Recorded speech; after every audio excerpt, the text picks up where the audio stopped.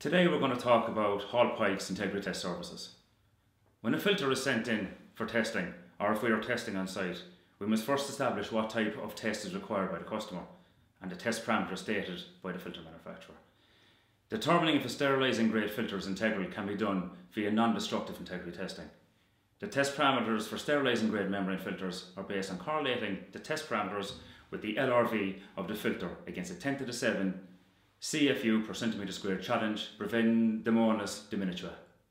The filter cartridges are tested by industry standard procedures as recommended in the PDA Technical Report 26. The test parameters are dependent on the surface tension of the wetting fluid to be used.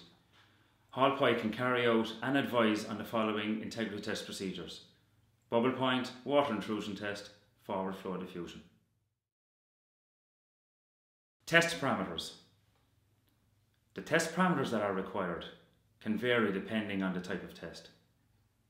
The parameters that are required are the pressure test, the wetting liquid, whether it's IPA or IPM water, the bubble point, the max diffusive flow, but all this information can be got from the manufacturer's validation guide. Upstream volume. In the case of a WIT or diffusive flow test, we would also need to establish the upstream volume, but this is something that we have to do ourselves. There are two options for doing this. Where the upstream volume is small, we use a test equipment to measure the upstream volume. But when on site, we must establish the upstream volume using a method of filling the system and measuring the difference between the top of the filter and the top of the sanitary vent. This is done using a pressure vessel, laboratory scale and a calibrated pressure sensor. Full details can be found on our website on the Hall Pyke SOP 32. Once we have established all this information, we are then in a position to put the data into the tester and run a test. We're now going to do a water intrusion test for a 0.2 5 inch code 7 PTFE membrane. Firstly, I wet the O-rings and insert the cartridge into the housing.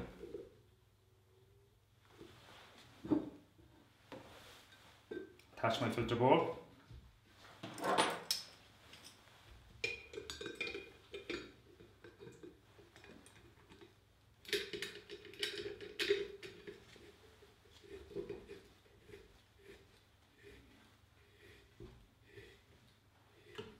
Making sure that the housing is well sealed.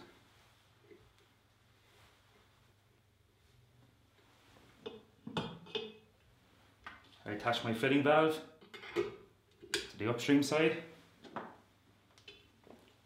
and also my pressure sensor.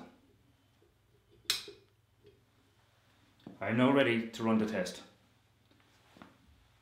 All of the specific test parameters required for this filter have already been uploaded into the IT01 integrity tester. All I need to do now is stick in my program. It's now just a matter of starting the test.